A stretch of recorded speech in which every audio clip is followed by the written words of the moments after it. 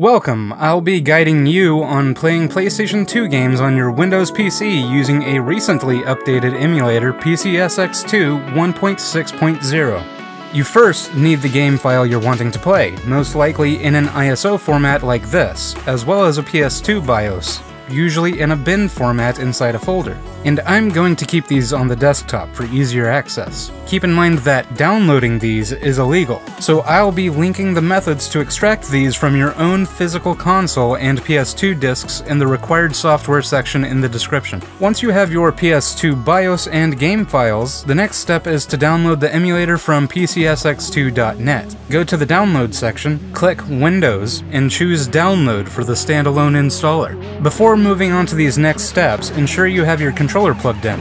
Click on the emulator's exe file after it downloads. For this guide, select Normal Installation. Click Next. Next again. Install.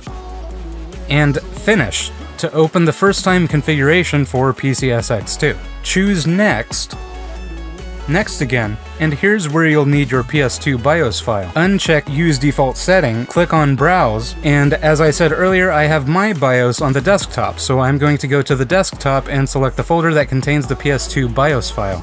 Click Select Folder after doing so, and you should be able to highlight the BIOS from the upper menu. Click on Finish to start up PCSX2 and go to C-DVD, ISO Selector, Browse.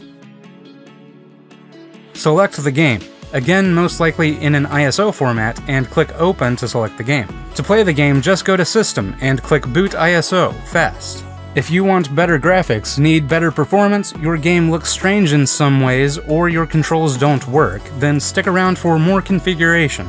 Otherwise, have fun playing. Keeping in mind that you need a good enough GPU to improve the in-game graphics, increasing the resolution is probably the most noticeable and can be done by navigating to Config, Video, plugin settings, and increasing the internal resolution here. A 3 times native resolution bump is a good balance between performance and graphical fidelity. If you don't know much about your computer's hardware, however, I recommend testing each setting out first before going too high on the internal resolution, or combining multiple settings together, as going too high will cause lag. Anisotropic filtering can be increased to 16 times for when viewing textures at oblique angles. You can change the game's look a little more by going to shader configuration and selecting the FXAA option for smoothing edges while blurring the screen a little. I don't necessarily prefer the look using this option, but you might. You can also enable Shade Boost and adjust the sliders according to your preferences. A lot of people now have widescreen monitors, but only some PS2 games support it. For those games that do support it, you can more easily enable it by navigating to Config, Emulation Settings, and changing the aspect ratio to widescreen 16 by 9. Click Apply. OK, and when you get back in-game, make sure to go into the menus and enable widescreen to ensure no stretching occurs. If the game doesn't natively support widescreen, you still may be able to utilize widescreen without stretching it, by looking up a widescreen patch and applying it. Keep in mind, this may cause issues, but I'll link it in the graphics configuration section of the description to a useful thread post for those interested. If you encounter slowdown, lag, or stutters even without modifying the graphics at all, here are some CPU, GPU, or stability related solutions that may help. Starting with CPU. Go to Config, Emulation Settings, navigate to the Speed Hacks tab, and select MTVU if you have three or more cores. If you're unsure of your core count, check the Find Core Count in the Performance and Compatibility Configuration section of the description. If enabling this doesn't help performance enough, go to the lower left of the emulation settings to where it says presets, and move the slider to the right, one notch. The further right you go, the more performance you may gain, but it may also cause all kinds of other problems, such as intense stuttering or other stability issues. If you go to Config, Audio, Plugin Settings, it may be helpful to lower the interpolation from 4 to a lower value, or disable effects processing. If none of these options help much, your GPU may be the problem and not your CPU. In this case, go to Config, Video, Plugin Settings, and in the renderer list, select a software-based renderer like so. You won't be able to benefit from very many graphical enhancements, but it'll put the rendering load on your CPU instead of your GPU, which may be helpful for some computers. Your game might stutter even if your frame rate is good and consistent. This can happen if you have inconsistent frame times, but there's a way to sometimes fix this as well by downloading a program called Riva Tuner. I've left a link in the consistent frame times section of the performance and compatibility configuration section of the description. After you download, install, and open the program, all you have to do is set the frame rate limit to 60. You may have to change it to 50, however, if you're playing the PAL version of a given game.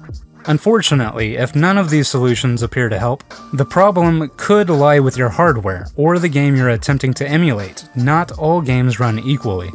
If you come across certain glitches like artifacting or ghosting, it may be tied to the specific game you're playing. There are a couple things you can do about this. Go to Config, Video, Plugin Settings, enable hardware hacks, and click Advanced Settings and Hacks for options that are mostly fixes for specific games. As an example, I'm playing GTA San Andreas, so I'll be enabling the Auto Flush option to fix the radiosity. If your problem doesn't appear anywhere here, I recommend visiting the wiki.pcsx2.net website for possible solutions to any stability or performance related problems tied to a given game. If this doesn't work, Googling the problem may help. Your controller may not work well with the default settings. If you have controller problems, go to the Windows Start menu, type in Controller, and click Set up USB game controllers, even if you're not using a USB controller.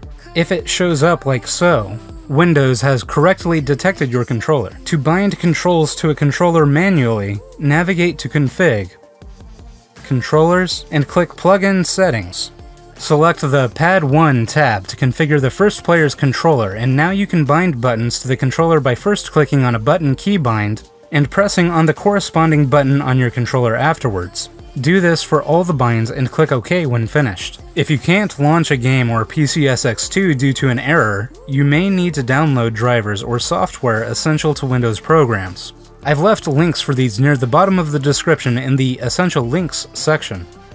That's all I can offer for now, and hopefully this tutorial has helped you out. Thanks for watching.